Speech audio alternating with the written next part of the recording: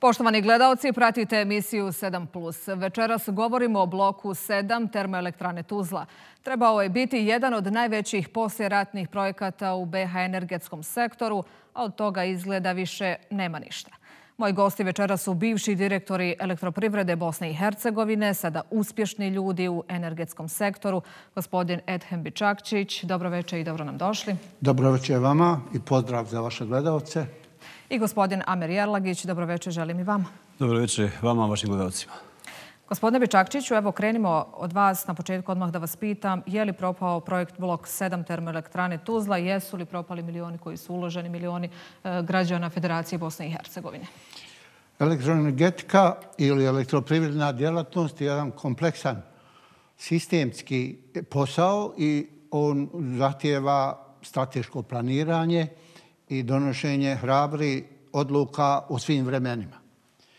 E, elektroprivrede i vlade, federacije, oba entiteta imale su svoje strategije i nisu dobro radili na njihovoj realizaciji. Iz tih razloga danas se dolaze bez nizom teških odluka. Jedna je od tih odluka a, blok 7, on je bio u strategijama elektroprivrede Bosne i Hercegovine uvijek jasno naznačen kao zamjenski blok.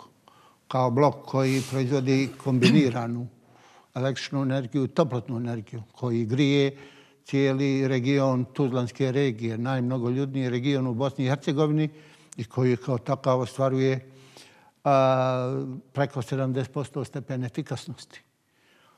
Donijeti sada odluku da od toga nema ništa je teška odluka. Moramo znati ako vlada krene tim putem, šta je zamjena?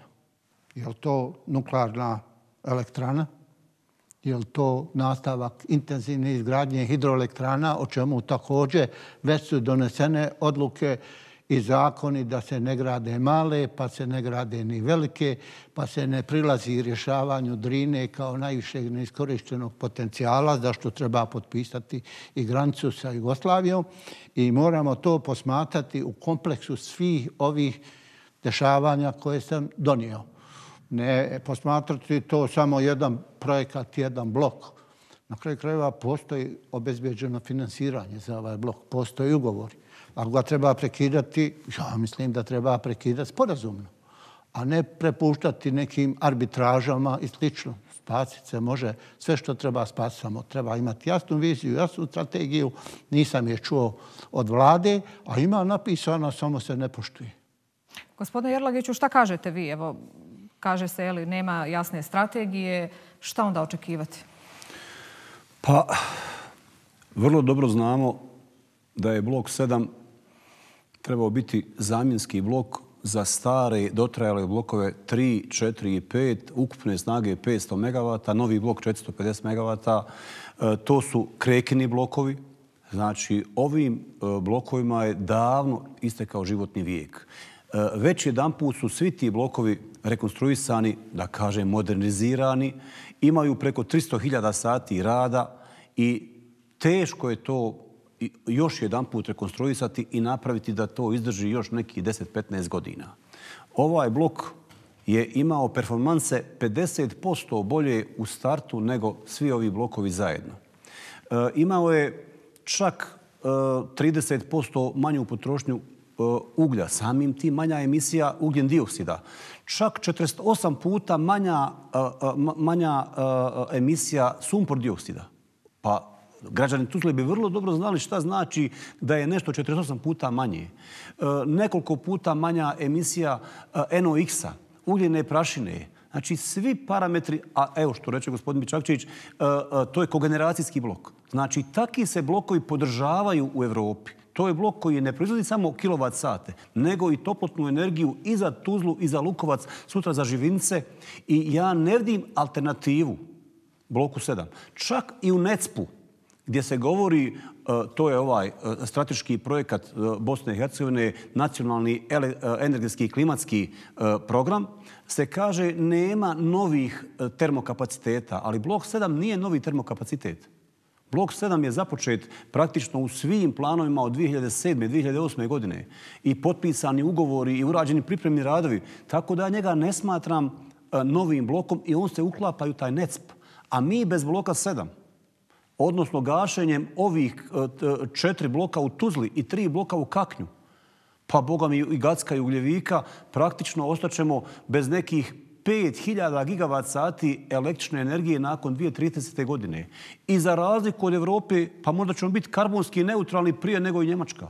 A da ne govorimo Poljska koja ima rok do 2050. godine, Rumunija, koje su unutar Evropske unije. Tako da imamo to dvostruke aršine. Kad je u pitanju E, e, Evropska unija i, i e, dešavanja u Evropi, odnosno ovaj pritisak prema Bosni i Hercegovini, prvo neki lobisti nisu dozvolili izgradnju malih hidroelektrana. Evo imamo problem sa Drinom. Umjesto da se napravi neki veliki međudržavni sporazum između Bosne i Hercegovine i Srbije, da se grade projekti tamo gdje je Drina državna granica, da Evropska unija da novce za tu jeli, međudržavnu saradnju, mi imamo i to sporavano, ne mogu male hidroelektrane, evo ne daju nam da gradimo termoelektranu, šta ostaje? Da onda uvozimo ogromnu količinu električne energije sa tri berze koje su oko Bosne i Hercegovine, a znamo da je ta cijena električne energije puno skuplja nego ova domaća i ko će na kraju spaštati građani Bosne i Hercegovine. Da. Jasno je to. E, gospodine Bičakčiću, vi, ali i gospodin Jerlagić, prethodno ste spomenuli u vašim odgovorima da ovim blokom bila bi smanjena emisija stakleničkih plinova. Zašto onda ovaj projekat ne bi, ne bi bio prihvatljiv? Ja mislim da je on prihvatljiv. Pitanje je kako ga ko tumači i objašnjava. Na kraju krajeva e, Evropa je deklarirala dekarbonizaciju, odnosno nultu emisiju 2050. godine. 20 godina praktički on još uvijek može raditi. 20 godina, u 15 godina on se može isplatiti i potlije toga ostaje kao sigurnosni element za sve eventualna kolebanja na tržištu, skokove cijena, čuva suverenost države Bosne i Hercegovine u energetici, što je vrlo važno, što smo naslijedili i što bi bili, trebali da budemo kadri da sačuvamo. Mnoge stvari nismo sačuvali, ali ovo je sada ključna stvar. I uh, ja se nadam da će doći do od, uh, promjene odnosa prema elektroenergetici i da će se prepoznati važnost toga, jer to je krvotog države on dolazi do svake kuće, do svake čelije, sve je to prisutno. Evo, pogledajmo primjer Srbije koja je u prošloj godini doživjela praktički impart, pa poslije se toga oporavlja i kroz za šta je prošla. Imamo to vrlo vidljivo. Moramo li mi ići tim putem? Da se falimo da je kod nas struja džabe, da je ovo, da je ono. Mi moramo poštovati tržnične principe, moramo naći šta je to racionalna proizvodnja uglja iz postojećih rudnika koji postoje ako može lager u Kamengradu produktivno poslovati, zašto ne mogu naši rudnici na neposrednim okruženju termoelektrana, šta to treba napraviti. Vlada evo bilježi neke male pomake, ali treba još odlučnije da krene u tranziciju energetskog sektora, a ovi kombinirani procesi su tranzicija za Bosnu i Hercegovinu. Oni, smanj, oni potpuno eliminišu sumpor, jer imaju desumporizaciju i oni brišu sva ulaganja u postojeće blokove koja su potpuno neracionalna jer ne daju ni jedan novi kilovat sat, poboljšaju nešto malo okoliš i nemaju nikakvu isplativost. Ima da postoji ono tekuće održavanje, remonti što treba dok traju i gase se, u to ulazi novi blok koji sad ima sasvim nove pokazatelje. I mislim da za to ima opravdanja, da to možemo odbraniti pred svim evropskim ekolozima, da možemo to jasno predočiti i završiti taj posao. Gospodine Jerlagiću, vi ste spomenuli Evropsku uniju i nekoliko zemalja dali ste jeli, Eh, primjere o procesu dekarbonizacije Evropska unija. Ali to je 2050. godina, Bosna i Hercegovina očekuje se da se to završi do 2030. godine. Da li Bosna i Hercegovina uopće ima strateški plan, alternativu, šta nakon gašenja eh, termokapaciteta? Pa, ja kad sam rekao 2030 to bi se desilo ako se ugase svi ovi blokovi, mi ćemo praktično biti dekarbonizirani 2030. I, i o, poruka od Evropske energetske zajednice prema Bosni i Hercegovini je 2050. Jer smo mi svi svjesni matematski rečeno da je to neki limes koji polako konvergira ka nuli, odnosno ka toj 2050. godini. I nije to slučajno ni u Evropi, pogotovo ako znamo da jedna Poljska ima 90% proizvodnje električne energije iz termoelektrana. Kako će riješiti pitanje Poljske? Kako će riješiti pitanje Rumunije? Znači, to su, to su krupni e, zadaci za Evropu. Pa evo Njemačka kad je ugasila nuklearke, ponovo je pokrenula termoelektrane. Jer jednostavno mora se imati ta takozvana bazna energija. A bazna energija dolazi ili iz nuklearki, ili iz termoelektrana, ili iz protočnih hidroelektrana. Mi nemamo protočne hidroelektrane, imamo samo akumulacije. Mi nemamo nuklearke, znači naša bazna energija je u termoelektranama. I da bi imali baznu energiju, mi moramo imati sistem termoelektrana tako napravljen. Danas imamo samo od novih stanare 300 MW. Ovo sve ostalo je staro, vremešno, dotrajalo, izraubovano. Prema tome, e, i onaj ko pravi ove planove, taj famozni NECP, valjda bi neko trebao da vodi računa a a da, da su tu i energetičari, a ne samo neki ljudi koji će se dodvoravati pojedincima iz Slovenije, iz Austrije, kako oni tamo nešto nam ono našarete, evo ovdje svi trče za njima. Ma moramo imati svoj stav. Ono što je u Saudiji, što je u, u, u, u Golfu, nafta, pa to je ovdje ugalj. U Srbiji, u Bosni, to je ugalj. Mi se ne možemo odreći uglja preko noći. I jednostavno, ogroman broj rudara živi od toga. E, naš, e, naša stabilnost, Evo, mi smo 20 godina imali viškove električne energije. I šta trebamo sutra preko da, da, da imamo manjke? Da uvozimo električnu energiju pod cijenama kakve su, kakve su na tržištu. To su te licemjerne poruke koje dolaze od pojedinih lobista iz Evropske unije gdje nas tjeraju da gasimo ono naše blago, da se odričemo njega i da prihvatamo preko noći obnovljive izvore. Nema ništa protiv obnovljivih izvora. Ali ne može tehnološki nit vjetroelektrana koja radi maksimalno 3000 sati, solarna elektrana koja u Bosni i Hercegovini u prosjeku može raditi 1250 sati. A jedna termoelektrana, jedan termoblok radi 6 do 7 hiljada sati godišnje. Znači, to je pet puta više sati rada. Ako pomožimo sate rada sa istom snagom 100 MW termobloka i 100 MW solarnih panela, to je pet puta manje energije. Šta ćemo za noć? Šta ćemo kad nema vjetra? Treba riješiti neke baterijske sisteme. E, sve su to krupne stvari, krupni zadaci čak i za Evropu, za svijet. I svijet nema odgovor na ova krupna pitanja kako rješavati noć. Šta je sa storđima? Sa skladištima energije, gdje ih skladišti, kako to tehnološki riješiti. To su ogromni izazovi za svijet, za Francusku, za Njemačku, za Britaniju, za velike sile, a kamo li za malu Bosnu. I ne možemo se mi preko noći tek tako lako dodvoravati nekim strancima i reći mi se odrećemo naših termokapaciteta zarad emisije CO2. Ok, sve super, ali sa novim blokom imat ćemo 30% manju emisiju CO2, opet ponavljam, 48 puta manje emisije sumpor dioksida, znači gotovo, što kaže gospodin Čakčić, nula emisije e, sumpor dioksida i to je ekološki prihvatljiv projekat. I na tome treba istrajavati i to pokušati odbraniti na svim tijelima, da kažem, ovim strukovnim. Gospodine Bičakčiću, hoće li Bosna i Hercegovina moći to uh, odbraniti i kakvo je vaše mišljenje o zahtjevima koji dolaze od strane uh, Evropske unije kada je riječ o potpunoj dekarbonizaciji što se očekuje da bude ispunjeno do 2030. godine? Kad se kaže hoće li to moći odbraniti, zavisi ko to brani. Mi smo se znali odbraniti kad je bilo to nemoguće, kad nam niko nije davao nikakve šanse. Dakle, uvijek postoji izlaz, uvijek postoji rješenje, oni su vrlo jednostavni i tako. Recimo, da se vratimo ovome, e, moramo imati baznu proizvodnju električne energije. Dakle, nema termoelektrana, onda je to nuklearna elektrana. Ili je to dobro razvijena tehnologija proizvodnje hidrogena, ali također e, to traži značajna ulaganja i značajan razvoj infrastrukture i tržišta sa jednim novim gasnim energentom koji ima više struku primjenu. Da, moramo definirati, idemo tim putem. Što se tiče ovih baterija, to su neka privremena rješenja, one traju do 10 godina, brzo se troše, brzo postaju skupa, pitanje isplativosti mogu biti mala prelazna rješenja. Na kraju krajeva imamo rijeku Bosnu, ne pravimo na njoj nijedan objekat.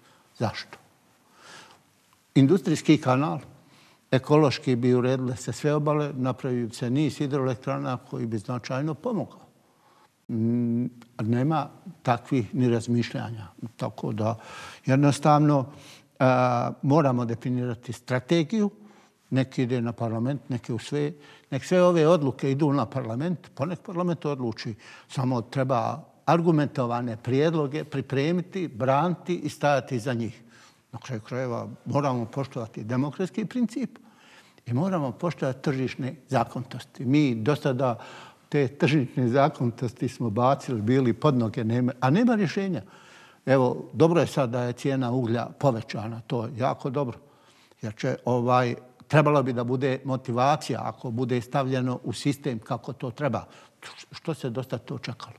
Što se u prošloj godini kad su cijene bile enormne, nije dali, nije dali posebni poticaj za proizvodnju uglja. Ništa to nije bilo. Nismo videli. Sto šansi smo propustili i sad moramo se vaditi da izađemo na, e, na ono što će za nas biti dobro. A za nas će biti dobro da sačuvamo tu energetsku suverenost, jer mi uvozimo i naftu i plin. Trebamo odmah krenuti sa naftnim istraživanjima. Uz to dolaze i plin. Mi imamo i te potencijale i, dok, i paralelno raditi na ovim svim frontovima unutar energetskog sektora. Tu i ova druga linija za gasovod i sl. Gospodine Jelagiću, može li uopće energetski sistem funkcionisati bez termoelektrana? Teško. Teško jer, evo, ako znamo da danas u Bosni i Hercegovini da se proizvodi 15.000 gigavat sati i da je odnos termo i hidro proizvodnje, govorimo za čitavu Bosnu i Hercegovinu, 50-50. Znači, 7.500 gigavat sati iz termokapaciteta i 7.500 gigavat sati iz hidrokapaciteta. Najteže stanje je u EPBIH. Tu je 82% proizvodnje iz termokapaciteta, a samo 18% iz obnovljivih izvora. Hidro, vjetar i sunce. E sad, zamislite kako je to preko noći ostati bez 82%. To nije 18, to je 82. 18 je ovo drugo. A unutar Bosne i Hercegovine je 50-50. Elektroprivreda Hrvatske zajednice Herceg Bosna je 100% na obnovljivim izvorima. Nekad imaju manjka ljeti, imaju zatvoren, kako mi kažemo, bilans na nivou godine, ali im ne valja diagram, imaju viška u drugom kvartalu, jaka rama i tako dalje, tope se snjegovi, ali u trećem kvartalu vrućine, klime i tako dalje, a nema puno vode, onda su u minusu, ali generalno su popeglani. I elektroprivreda Republike Srpske je u odnosu 50-50, znači 50% termo, 50% hidro, ali globalno Bosna i Hercegovina je 50-50. E sad, zamislite koliko treba napraviti obnovljivih izvora kroz vrijeme da bi ti izvori u sve ove, da kažem, e, e, pa ne bih rekao probleme, nego izazove. Kako skladištiti tu energiju, kako riješiti pitanje noći, kako riješiti pitanje nedostatka vjetra i sve to da bismo u jednom momentu kazali mi možemo bez termoelektrana. Napredna Evropa sebi dala e, neko vrijeme od 2030. do 2050. da se to rješava. A opet kažem, a mala Bosna ne može lako. Znači, to je jedan uh, uh, step by step ciklus koji će se odvijati u narednih 20 godina. Kako se budu pojedini blokovi gasili, dolazila nova, nova postrojenja obnovljivih izvora i ova nova rješenja za skladištenje energije. Jer opet kažem, najveći, nekad je bio problem noći da, se, da je bilo viška energije, pa su bile takozvane reverzibilne elektrane pumpne koje su pumpale po noći, pa su bile TA peći kao projekti. Čitava su naselja bila, Košesko brdo je napravljeno kao projekat za TA peći, nije bilo plina tamo i tako dalje.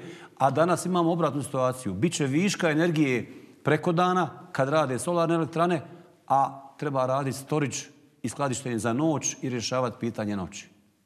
Gospodine Bečakčiću, da li bi izostanak ovog bloka značio dodatni rast e, cijena struje ili možda da se uvozi struja? Što se tiče cijena struje, to zavisi od berze, odnosno od e, cijena na međunarodnom tržištu. Ono prije svega uče geopolitika, pa uče gas, pa uču drugi energenti. Sam ovaj jedan mali blok e, u Bosni i Hercegovini, pa, a, o, kad kaže mali, a kod nas je najveći, u, u nekim širem okruženju neće izazvati nikakve posebne kolebanja oko struje.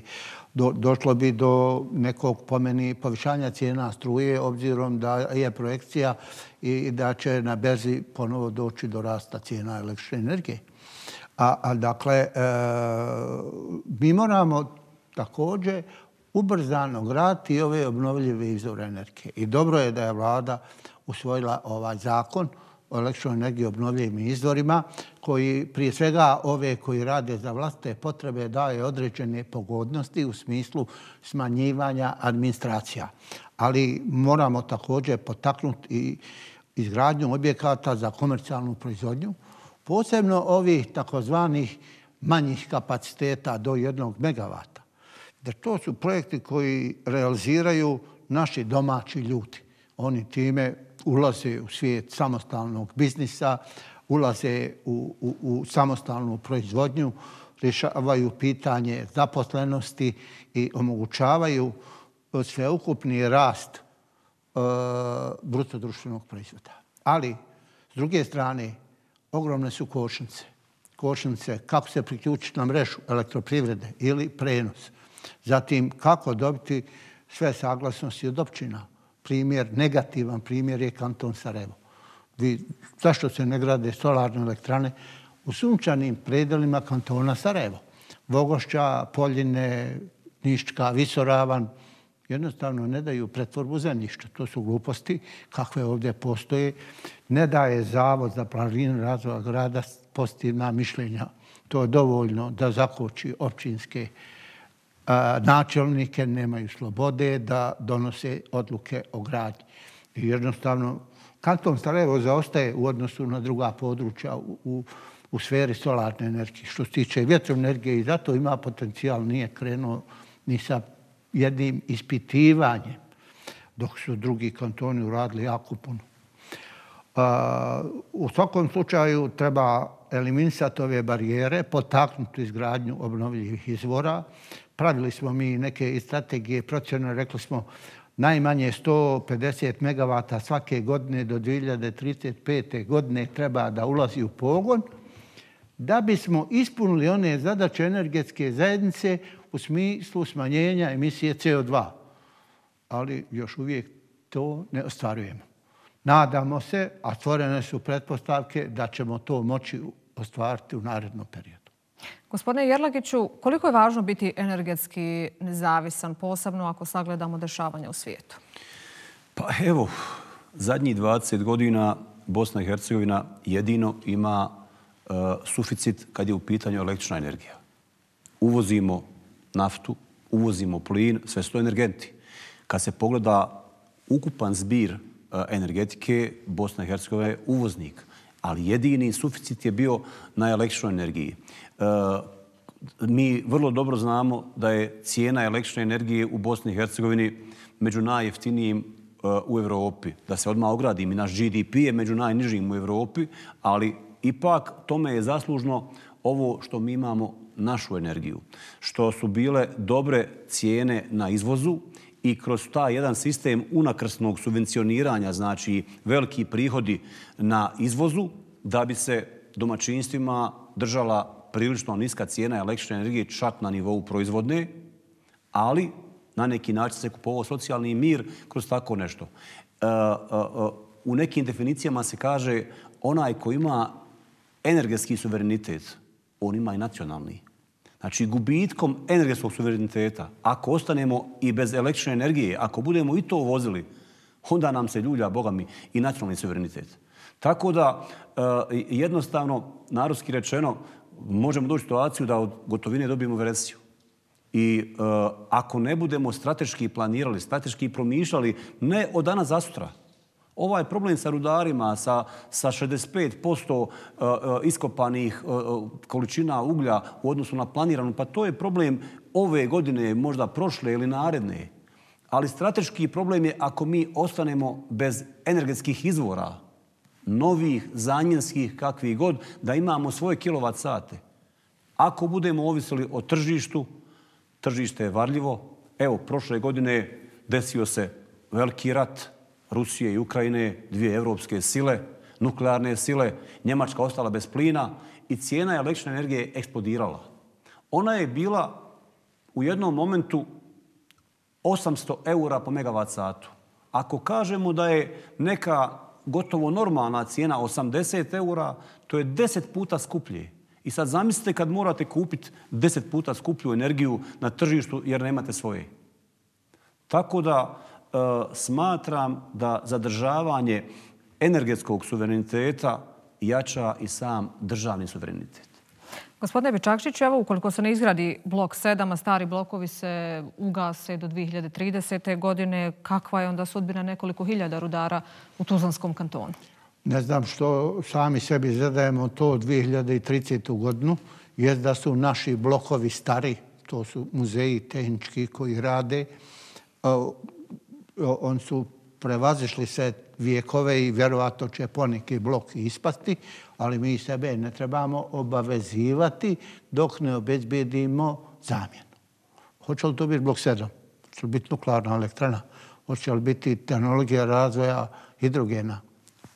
Neka se vlada odredi, neka definiše strategiju. Neka definiše strategiju čime će se grijati Tuzlanski region kada se ugase svi blokovi. Hoće li to biti opet individualna ložišta na ugalj i koja je to emisija CO2? I gasa gore i nema ili ćemo razvijati gas, ali evo i sada bilježimo smanjenje potrošnje gasa zbog tople zime i zbog cijena gasa. Topla zima, hvala Bogu, ide na ruku.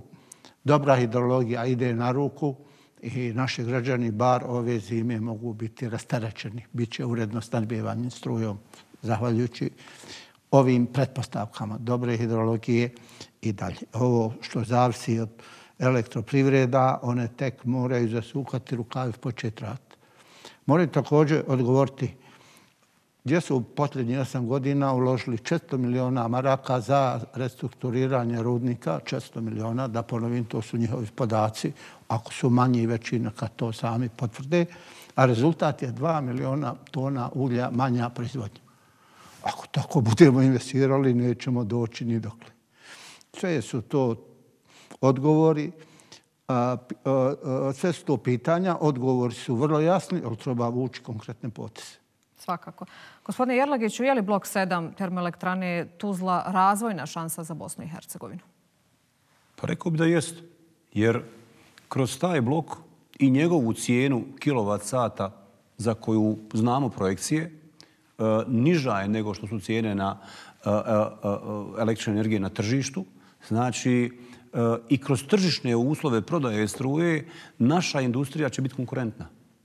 Znači, u ovom, da kažem, momentu, u naredni pet godina, to je prilika da se određene kompanije i domaće uz kineskog, da kažem, nosioca ugovora, E, razvijaju u tom dijelu kad je u pitanju izgradnja, a e, nakon toga kad se, evo, vidimo kakva je situacija sa te stanarima. I u stanarima je e, kineski Don Fan i 300 megavata i funkcioniše besprijekorno. Ne možemo mi usporavati sve što je iz Kine. Ima Kina i vrhunske stvari. U ostalom, ogromna je zemlja. Kako tamo sve funkcioniše? A sad, zbog ovih geopolitičkih dešavanja u svijetu, da se preko noći kaže evo, ne želimo, evo, nećemo, šta je alternativa?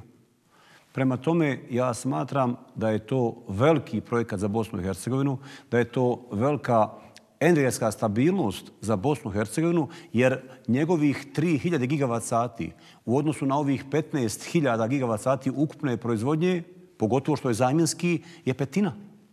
A unutar EPBH 50%. Prema tome, vrlo dobro te brojke govore više od hiljadu riječi. Dovoljno reći da je to polovina ukupne proizvodnje elektroprivrede Bosne i Hercegovine, odnosno da je to petina ukupne proizvodnje Bosne i Hercegovine. Gospodine Jerlagiću, hvala vam lijepo na izvojenom vremenu i što ste bili naš večerašnji gost. Naravno i vama, gospodine Bičakšiću. Hvala vam. Hvala vam pozivu. Hvala lijepo. Poštovani gledalci, toliko za večeras. Ostanite i dalje uz program Hayat televizije i portal hayat.ba. Doviđenja.